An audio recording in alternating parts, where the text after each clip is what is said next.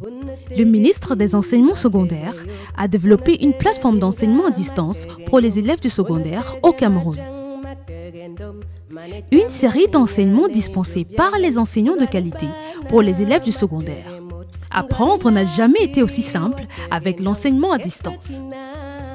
Une initiative du ministère des Enseignements secondaires sous la supervision du professeur Nalova Lyonga en collaboration avec le ministère des Postes et Télécommunications, la CAMTEL, la CRTV et l'UNESCO. Nous introduisons l'enseignement à distance comme une autre méthode d'enseignement et d'apprentissage qui diffère du cadre de classe traditionnel auquel vous êtes habitué. Dans le mode d'enseignement à distance, vous n'êtes pas avec l'enseignant en personne, alors prenez votre temps, détendez-vous, écoutez l'enseignant, prenez des notes et visitez les liens suivants pour toute question ou réponse à vos préoccupations. Allez-y à votre rythme. La solution du Cameroun contre le Covid-19 est au-delà. Professeur Nalova Lyonga, ministre des Enseignements secondaires. Bienvenue à cette section d'apprentissage. Je m'appelle Fokota Brice et je serai votre enseignant d'informatique en classe de terminale TI pour les cours de réseau, Internet et sécurité informatique. Lors de notre dernière séance d'apprentissage qui portait sur les types de signaux, nous avons notamment vu qu'un signal est une grandeur physique mesurable qui transporte une information à traiter. Nous avons vu des exemples de signaux et nous avons aussi vu les types de signaux ainsi que les principes de modulation et démodulation. À la fin de cette section d'apprentissage, nous avons laissé un devoir. Dans ce devoir, il consistait premièrement de énumérer les types de signaux avec un exemple pour chacun d'eux. Ensuite, de réaliser un tableau comparatif du signal analogique et du signal numérique. Par la suite, de nommer les éléments indispensables pour la transmission d'un signal. Et enfin, de donner le rôle de l'onde porteuse. Voyons de plus près la correction de ce devoir. Alors, à la question où il faut répondre, à la question à laquelle il faut répondre, énumérer les types de signaux avec un exemple chacun d'eux, nous avons vu que nous distinguons deux types de signaux. On a parlé de nature ou la nature des signaux le signal numérique, par exemple, les signaux qui sont envoyés lors de la transmission des données dans une machine, et les signaux analogiques, qui sont des signaux qu'on va, qui, sont des signaux qu'on va retrouver généralement euh, de façon plus naturelle dans l'espace qui nous entoure. Par exemple, nous avons vu que les feux que l'on observe est un signal. Nous avons aussi parlé du coup de sifflet et même la voix nous a demandé de réaliser un tableau comparatif du signal analogique et du signal numérique. Au cours de ces questions d'apprentissage, nous avons vu qu'un signal analogique a une forme sinusoïdale. C'est un signal qui peut prendre une infinité de valeurs ou du temps. Et c'est un signal très sensible perturbations. Nous avons aussi vu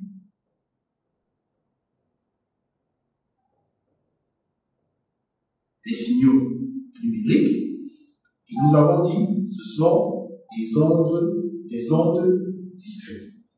Elles ont une forme carrée, variation en carré, et elles prennent des valeurs binaires. C'est une valeur qui est soit 1 ou soit A, 0. Alors, si nous faisons un tableau de comparaison, nous pouvons dire que le signal analogique est une onde continue qui change sur une période donnée, tandis que le signal numérique est une onde discrète qui transporte des informations sous forme linéaire.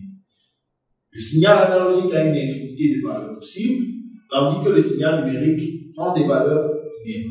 Le signal analogique est une onde sinusoïdale, tandis que le signal numérique s'agit ici des ondes. Le signal analogique est sensible aux perturbations et le signal numérique, lui, est insensible aux perturbations. Nous avons demandé de nommer les éléments indispensables pour la transmission d'un signal. Nous avons dit que pour transmettre un signal, il nous faut un émetteur, un récepteur, une information qui sera transmise et aussi cette transmission-là. Nous avons aussi demandé de donner le rôle de l'onde. Lorsque nous avons parlé des principes de modulation et démodulation, nous avons vu que le signal analogique, lorsqu'il sera émis, sera généralement transporté grâce à une onde dite onde porteuse. Donc, l'onde porteuse a pour rôle de servir d'intermédiaire pour transmettre l'information.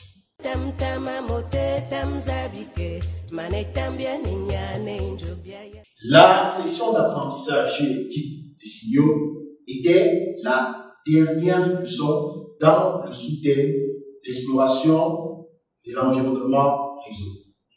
Aujourd'hui, nous allons aborder un nouveau sous-thème qui est le fonctionnement des réseaux informatiques. Dans le fonctionnement des réseaux informatiques, nous aurons sept leçons. La première leçon sur les standards aussi TCP IP aura deux présentations. La deuxième leçon sur les topologies logiques des réseaux se fera aussi en deux présentations. La troisième sur les protocoles réseau se fera aussi en deux présentations. La quatrième sur la notion d'adressage dans un réseau se fera en une leçon. La cinquième sur la structure d'une adresse IP se fera en une leçon. Sixième sur l'adressage, IP par classe se fera en deux leçons. Et la dernière, qui porte sur les techniques d'adressage, se fera aussi en deux leçons. La leçon d'aujourd'hui va porter sur les standards OSI et TCP/IP. C'est la première partie. À la fin, enfin, comme plan qui va nous diriger tout au long de cette leçon, nous allons commencer par voir les objectifs à atteindre à la fin de cette leçon pour les standards aussi TCP/IP, les prérequis pour aborder cette leçon. Nous allons vous donner un problème, puis un ensemble de concepts que vous allez mobiliser pour résoudre le problème. Nous allons résoudre ce problème ensemble, puis nous allons laisser un devoir. Passons aux objectifs à atteindre à la fin de cette. Nous attendons de vous que vous soyez capable à la fin de cette leçon de définir le modèle aussi, de décrire les couches du modèle aussi, d'énumérer au moins un équipement et équipement réseau pour les différentes couches du modèle aussi, lorsque celles-ci, bien évidemment, existent. Nous jouerons des concepts. D'expliquer la communication dans un réseau à travers le modèle aussi. Passons à l'évaluation des. Premièrement, nous vous demandons de définir ce qu'on appelle réseau informatique et équipement réseau. Et ensuite, d'énumérer les éléments constitutifs d'un réseau informatique. Puis, décrire le réseau LAN. Lorsque nous passons à la résolution des, à la résolution des différentes questions qui nous ont été posées, en ce qui concerne la définition du réseau informatique, nous avons vu qu'un réseau informatique est un ensemble d'équipements informatiques interconnectés pour partager des informations. Nous avons défini les équipements réseau comme des dispositifs matériels nécessaires qui vont permettre l'interconnexion et le partage des informations entre les diverses stations dans un réseau informatique. Alors, on nous demande d'énumérer les éléments constitutifs, constitutifs d'un réseau. Nous avons dit qu'un réseau est constitué de périphériques, de supports de transmission et de services et ressources qui seront partagés et échangés dans ce réseau. En ce qui concerne la description d'un réseau LAN, LAN pour Local Area Network, nous avons dit qu'un réseau LAN est un ensemble d'équipements informatiques interconnectés sur une aire géographique réduite. Généralement, cette aire-là est limitée à 1 à 5 km. Passons à la situation problème. Alors, vous avez un ami qui s'intéresse fonctionnement des réseaux informatiques. Dans un document, il observe un réseau, puis il observe une figure. Et à côté de cette figure, il est écrit réseau informatique peut être décrit à travers une structure hiérarchique appelée modèle aussi. Nous avons présenté dans ce document ce schéma avec les différentes euh, euh, euh, éléments de cette figure. Par contre, lui, il ne comprend pas exactement de quoi il s'agit et il fait appel à vous pour mieux l'aider à comprendre toutes ces notions. Alors, il s'agit pour vous, premièrement, d'énumérer les couches du modèle aussi, de donner le sens de navigation d'une information transmise d'une station A à une station B dans le réseau, de donner le rôle de chacune des couches du modèle aussi, et de nommer un équipement réseau pour la couche physique et ensuite pour la couche réseau du modèle Pour répondre à ces différentes questions, faire camarades, vous aurez besoin de mobiliser, un ensemble de concepts. Nous, parlons, par exemple ici du modèle aussi. Et qu'est-ce que le modèle aussi Ce qu'il faut savoir déjà, c'est que OSI, OSI, est un site qui renvoie à Open System Interconnection. Le modèle aussi est un cadre conceptuel qui va définir comment l'information s'échange dans un réseau informatique. Donc, il faut comprendre qu'il s'agit surtout d'un modèle théorique qui va nous expliquer et décrire comment on va échanger les informations dans un réseau informatique. Le modèle aussi est sur une architecture qui a sept couches logicielles hiérarchiques et qui sert à décrire les réseaux. Alors, nous avons ici une illustration du modèle aussi. Nous avons dit que le modèle aussi possède sept couches logicielles hiérarchiques. Comme vous pouvez observer sur cette figure, nous avons par exemple deux stations interconnectées entre elles. Nous avons un réseau ici. Et pour chacune des stations, on va observer que nous avons sept couches. Ce sont les couches hiérarchiques du modèle aussi. Nous avons ici une couche d'application, présentation, section, transport, réseau, liaison de données et une couche physique. Les couches que l'on peut observer pour cette station dite source sont les mêmes que l'on va observer pour cette station dite destination. Et nous allons aussi remarquer que pour chaque couche, nous avons une unité de données qui est partagée. C'est-à-dire qu'à la septième couche application, par exemple, l'unité de données ici, c'est la donnée d'information qui est directement transmise. Mais lorsqu'on descend et on arrive, par exemple, au niveau de la couche transport, on va parler de secteur. À la couche réseau, on parlera de paquet. À la couche liaison de données, on va parler de tram. Et à la couche physique, nous allons tout simplement parler des bits. Voyons de plus près les couches du modèle aussi. En ce qui concerne la couche application, nous allons la définir comme un service applicatif au plus proche des utilisateurs. C'est la couche en haut de la pile des couches du modèle aussi. C'est-à-dire, c'est la première, celle qui est en tête. La septième couche, la première qui est en tête de la pile. C'est un point de contact avec les services réseau. Donc, généralement, dans cette couche, on va servir, par exemple, on va, on va les services réseau que la navigation web, la messagerie électronique ou le transfert de fichiers. Si nous parlons de la couche présentation, la couche présentation ici, c'est une zone indépendante qui va se charger de représenter les données. C'est une couche qui est située directement en dessous de la couche application.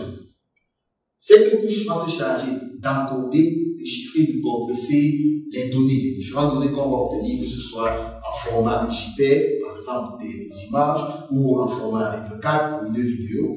C'est au niveau de cette couche qu'on va réaliser ces différents encodages et compression de données.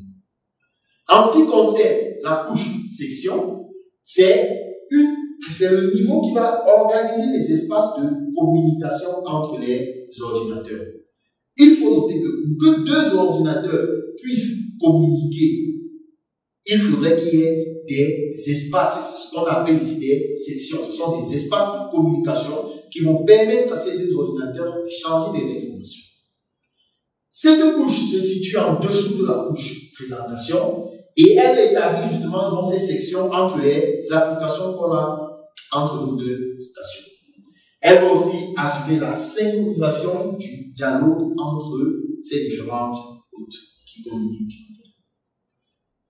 Enfin, nous avons, ensuite, nous avons la couche transport qui est le niveau responsable de récupérer les données, de les décomposer en petits morceaux qu'on on va appeler ici segments. Vous noterez que les segments, ce sont les petites unités de données qu'on a au de la couche transport. Nous avons pris nos données, nous l'avons découpé en segments, et ensuite nous allons les acheminer au destinataire. La couche transport se situe directement en dessous de la couche section. Elle coordonne le transfert des segments entre les périphériques, les périphériques terminaux et elle va assurer la connexion de bout à bout et le contrôle du flux d'échange de ces différents segments.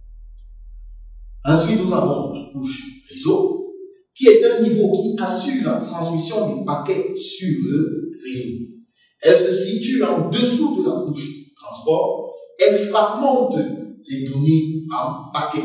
Alors, ici, le paquet, c'est lorsque nous allons prendre ces segments et puis nous allons constituer avec un segment un paquet. Le paquet va encapsuler un segment, par exemple. Et la couche réseau va assurer le routage de ces paquets qui ont été formés entre les différents nœuds du réseau. Ce qu'il faut comprendre, c'est que dans un réseau, informatique, lorsqu'on établit des sections pour la communication entre les différentes machines, il existe un très grand nombre de chemins ou alors de voies de communication pour échanger et faire passer les différentes informations dans le réseau. À la couche réseau, on va assurer le routage, c'est-à-dire on va déterminer le meilleur chemin possible afin de transmettre les différents paquets d'un destinataire à un autre dans le réseau. Et au niveau de la couche réseau, nous allons distinguer un équipement réseau très utilisé qui est le routeur. Parlons de la couche liaison de données on dit, la couche de liaison de données est un niveau qui va assurer le transfert des trames, le transfert des trames qui seront formées entre deux stations reliées par un même support de transmission. Ce qu'il faut comprendre ici, c'est que lorsqu'on a constitué nos différents paquets au niveau de la couche réseau, on va former avec ce paquet une trame. cette trame sera dans l'unité de données qui sera manipulée à la couche liaison. Cette couche se, situe en dessous de la couche réseau.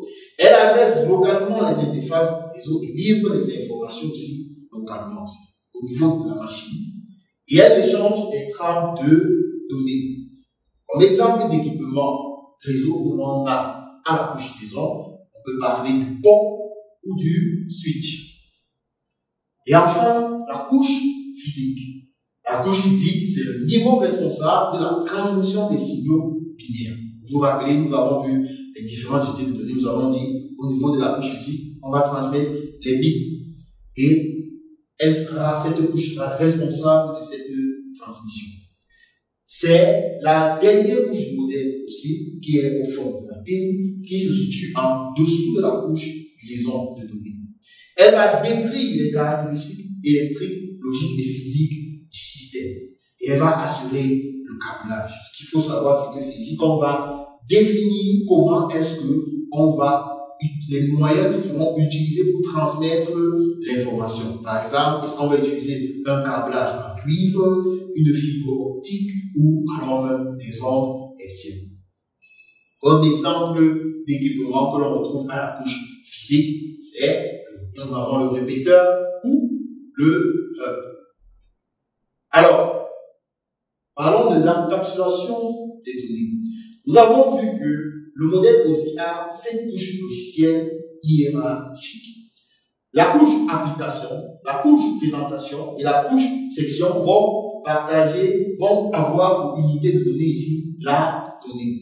À cette donnée, on aura une en-tête qui sera les informations de la couche application. Nous allons greffer à cette en-tête-là avant de l'envoyer.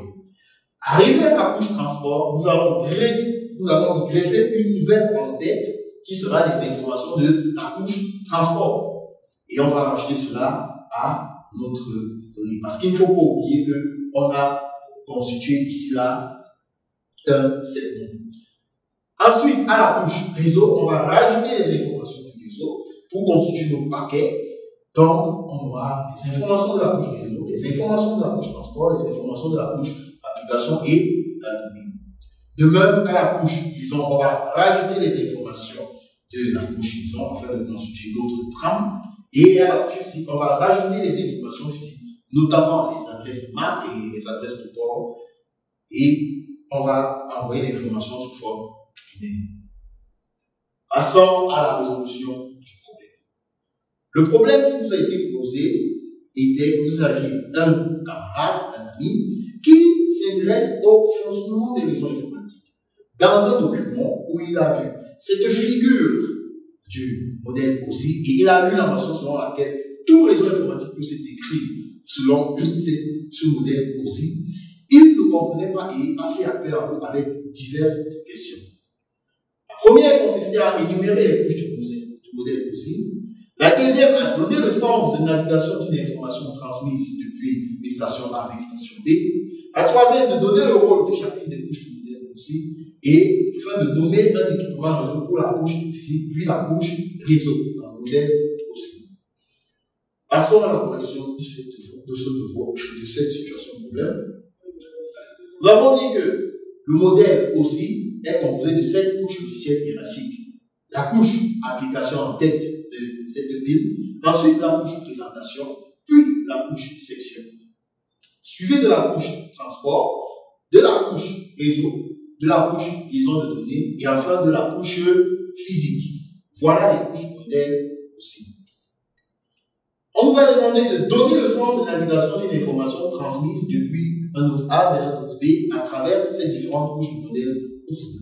Alors, lorsqu'on parle de transmission des informations en utilisant un modèle aussi, nous avons ici un autre A et ici un autre B. Donc, chaque personne est sur sa station de travail. L'autre A veut envoyer l'information à l'autre B, alors elle a son message, par exemple, si nous sommes dans le cas d'un courrier électronique, d'un message, qu'elle va utiliser, elle va mettre, par exemple, à travers le service qu'elle va utiliser dans la couche application, elle peut utiliser un navigateur web en utilisant sa boîte de messagerie, à envoyer son message vers l'autre B. Lorsqu'elle envoie ce message, ce message va passer de la couche présentation, section, transport, réseau, liaison de données physiques, puis sera envoyé à travers les signaux que nous avons vus et va remonter de la couche physique liaison de données, réseau transport, section présentation et revenir à la couche application vers l'autre et qui pourra ensuite exploiter ce message. Alors, ce qui concerne de donner le rôle de chacune des couches du modèle aussi, nous avons vu que la couche application va servir à définir les différents services qu'on aura à la, à des utilisateurs dans un réseau. La couche présentation va se charger de représenter les données, notamment leur format d'encodage et la compression des informations. La couche section, quant à va établir les sections de communication. Donc, elle va organiser les espaces pour que les différentes stations interconnectées dans le réseau puissent La couche transport va coordonner le transfert des segments qui ont été formés entre les périphériques terminaux la couche réseau va assurer l'acheminement des paquets à travers un routage. La couche liaison de données va assurer la transmission des trames entre deux stations interconnectées. Et la couche physique va assurer la transmission du bit sur un support physique. Alors, on nous demande de nommer un équipement réseau pour les couches physiques et la couche alors, à la couche physique, nous avons notamment vu que nous pouvons avoir des répéteurs, les concentrateurs de réseau. Ici que, à la couche réseau, nous avons dit qu'on aura généralement le routeur. Voilà des équipements, par exemple, qu'on retrouve dans ces différentes couches.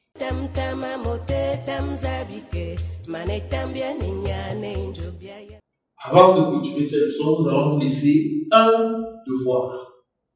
Nous vous présentons une figure où on est un utilisateur qui envoie un message électronique à travers le réseau Internet. Donc, vous avez ici un utilisateur, messagerie électronique. On a une encapsulation de données. On peut observer ici. Et ces données vont arriver à un routeur et aller sur Internet travers un signal. Les consignes qui vous sont mises à votre disposition consistent à définir le modèle aussi, à associer à chaque unité de données sur la figure une couche du modèle aussi, à nommer la couche où intervient le routeur dans le modèle aussi, à donner un élément de la couche application puis de la couche physique, enfin à expliquer la transmission d'un message électronique selon le modèle aussi. Pour réaliser cette session d'apprentissage, nous avons notamment utilisé le programme informatique des classes du terminal TI de juillet 2020. Les sept couches du modèle aussi, qui est un article disponible sur le réseau télécom, ainsi que le réseau informatique sur christiankaleka.free.fr. La prochaine leçon va porter sur les standards aussi TCP partie 2. Unategesi matege yop, unatege minga matege nyum, unatege majang matege ndom, manetambia ninyane njobia yen, ngani bana matege mot, ngani lakiri watege ndong, esakina bia dinkido, mane tambia ninya ne jobia yen, tam tama mote tam zabike, Tam tama tonge tam zabike tam tam tama mote tam zabike mane tambia ninyane jobia yen.